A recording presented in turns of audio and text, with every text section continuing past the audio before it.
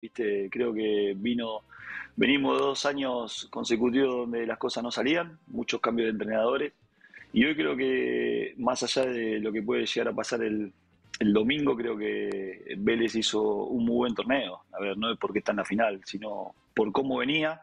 Creo que se logró una tranquilidad, los chicos traen una confianza terrible.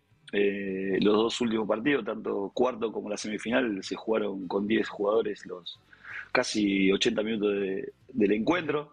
Y eso habla de la confianza y la unión del grupo, ¿no? Eh, no dan una pelota por perdida. A la hora de jugar tienen con qué. El otro día con Argentinos, eh, las mejores situaciones de gol las tuvo Vélez y después en los penales también lo pudo ratificar, ¿no? Sí, buenísimo. Mirá, justo hablábamos en la previa, Lean, con, con Daro en estos días y además sacó a dos candidatos. Vos decías recién, a Automba y Argentino, dos protagonistas. ¿Y vos crees que no, no fue una sorpresa tenerlo ahora a Vélez en la final? O sea, que se venía sosteniendo este trabajo y que, que llegaron a competir hasta lo más alto.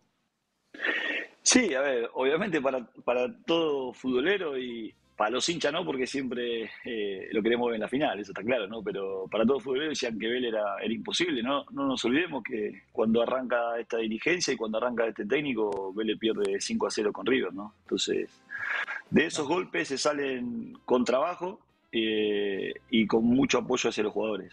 Eh, y con tranquilidad, no, viste, a veces uno cuando te tocan esos resultados decís, bueno, ahora sí, no levantamos nunca más. Y a veces esos resultados te hacen poner los pies de la tierra, donde hay que agachar la cabeza, trabajar 10 veces más. Y creo que lo que logró el cuerpo técnico que llegó fue eso, ¿no? Darle tranquilidad y a su vez potenciar muchísimos jugadores.